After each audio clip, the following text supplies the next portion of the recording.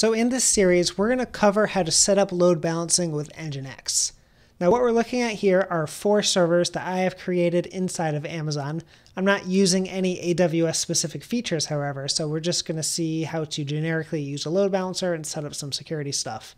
The stuff I'm going to cover here is going to be relevant to any hosting provider, whether that's Linode or DigitalOcean or AWS or whatever. So what we see here is I have four servers. One is the load balancer itself. We're going to have two that'll be application servers, and a fourth that will be for persistence. In other words, our database, and in my case, what I'm going to show here, a cache server as well, Redis. So what I want to do in this first video is just set up these three servers, the app servers and the load balancer server, because they have a lot of shared stuff installed. And then we'll move into configuring them so that we are load balancing between our two application servers. So we can first get started with our load balancer here. I'm going to copy the public IP address and we're going to log in over here in terminal and install some stuff. So you'll see each of these servers is an Ubuntu 16.04 server. It's just the latest LTS from Ubuntu, which I use a lot. The first thing I'm going to do here is just install some basics. So we'll do sudo apt-get update so it knows about available packages, and then we'll install some basics. All right, that's done. And the basics in this case are just git, tmux, vim, curl, wget, zip, unzip, and htop. These are just some packages that I install on most servers. All right, so the basics are installed. What we're going to do here is get Nginx on the server. And this server is the load balancer. So once we install Nginx, that's basically it. So we'll do sudo add apt repository. And we're going to get the repository Nginx development. Now I like to get the development branch of Nginx here. It's actually the mainline branch, which is Nginx plus bug fixes. It's not technically the stable release. It is ahead of their stable repository of Nginx that you can get but they count it as production ready because it typically is just the stable branch plus bug fixes. So I like to get the development one. Oop, and I'm sorry, I forgot to prefix it PPA. So we're going to add apt repository from Ubuntu's PPA repository. We're going to grab the one named Nginx development and I'll hit enter to actually add the information for that. Okay, that's added, so I can do sudo apt-get update, and once that's done, we can install Nginx. Great, and let's see, we'll get that public IP address, open a tab here, and we should see Nginx's default page, and we do. Perfect. Okay, so I'm going to repeat these steps on the two application servers to get Nginx and the basics on there, and then we'll move on to install PHP and get an application set up on each of these servers as well. All right, so my two application servers have the basics installed and they have Nginx installed. I'm going to log into my application server here, and we're going to go through installing and setting up PHP and a Laravel application. Okay, so let's just make sure I'm not wrong. We'll see that Nginx is installed and running, and it is, that's great. Next, we'll get PHP. So just like with Nginx, I'm going to add a repository, and PPA Ondrej PHP is going to let us get the latest version of PHP, which is 7.1 as of this video.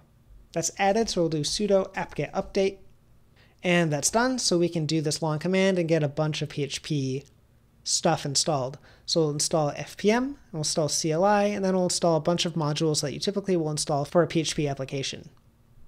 And just as a side note, I am setting these servers up fairly quickly. I am assuming you have some server knowledge before we move on to learning how to load balance. So things like running these commands to install Nginx and PHP, are things I'm assuming you know, and I also have videos on them elsewhere, so you can look those up to get a little bit more of a detailed explanation of what we're doing. Okay, so Nginx is installed, PHP is installed. Let's run this one line command to get composer, which is going to get the composer script. It's going to pipe it to PHP using sudo because it sets the installation directory to user bin, which is a root owned directory, so it needs permission to write there. We're going to say create the file and name it composer instead of composer.phar. All right, so I can say which composer, and that finds it, and I can run composer commands here. Great. So now we can set up an application since we have PHP installed. So I'm going to head to var www. We have the HTML directory in here. I'm going to install a new Laravel application here. I don't have a Laravel application to use for all of our videos here. We're just going to create a new Laravel application individually because the details of what's in the application don't really matter to see how to load balance with Nginx in this case. So in var www, I'm going to do sudo create project with composer. We're going to create a new Laravel Laravel project. I'm going to grab dev develop because 5.5 isn't stable yet, and I want to get Laravel 5.5 in this case. And I'm just going to tell it to create it inside of a directory named my app. Now, in a scenario for you, you might want to get git access to your GitHub repository from your server so your server can do a git pull or git clone, and then it'll get your real application. But in this case, I'm just creating a new Laravel app on each of our application servers because I don't need any specific logic here.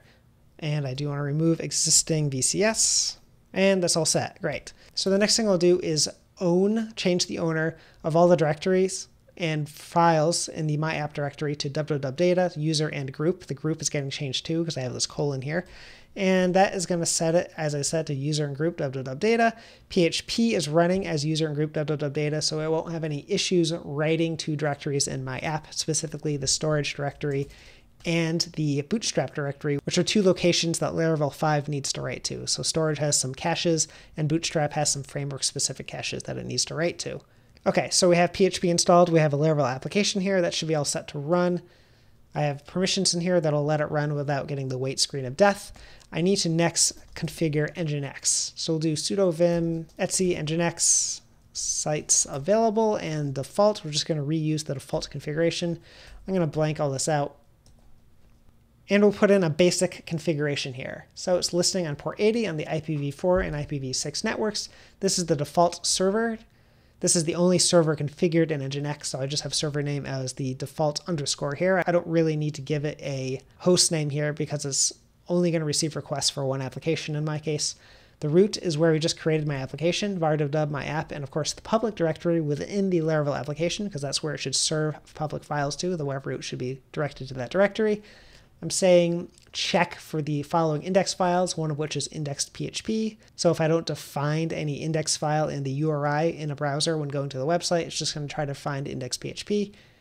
Server name I just set as the default location. It's going to try files. So whatever I set in the URI and the URL that I use in my browser, try to find it as a file. If I can't find it as a file, try to find it as a directory. If it's not a file or directory within the web root, then just send the request to index.php passing any query string if there is one.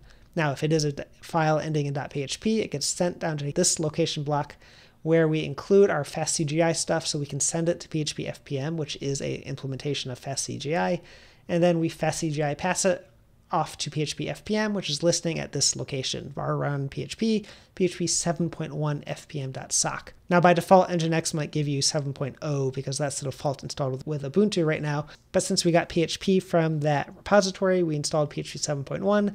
The socket file where PHP FPM is listening is therefore named differently for the specific PHP version we have. Okay, we'll save and quit that. sudo, I'm going to do, well, we could do sudo service nginx config test, and this says it's done and we don't get any errors, so it's okay. I like doing sudo nginx-t, which does the same thing, but it says specific error messages if there are any. This says the syntax is okay, so we're good. Do sudo service nginx reload to suck in that new configuration. So let's see, we are on server uh, ends in 200, the IP address, the private IP address.